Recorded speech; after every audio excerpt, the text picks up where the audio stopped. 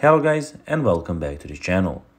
Where today guys, I'll be showing you how to make a call from chat on Life360 application.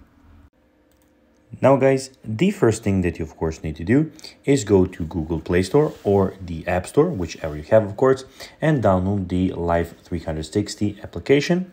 Now, when you did that, you just need to go and log into your profile but guys, if you do not have one, you can always go and register to Life360. But guys, if you do not know how to do that, you can always go to our YouTube channel where we have plenty of how to Life360 videos where you can see how you can do this. Now guys, that we got that out of the way, let's see what we actually have in front of us here.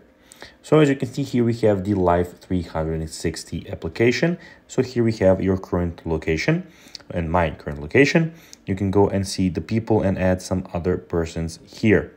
Also, here we have the driving mode where you can go and go into the driving mode with your car. So at the moment, I don't have any drivers detected, but when I put them, they will be here.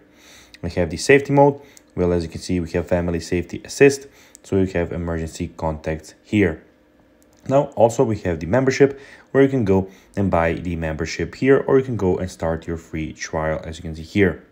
Now when we go to the location, in the top left corner, we have everything about your profile. As you can see, you have the notifications, flight detection support, about, and of course the log out option.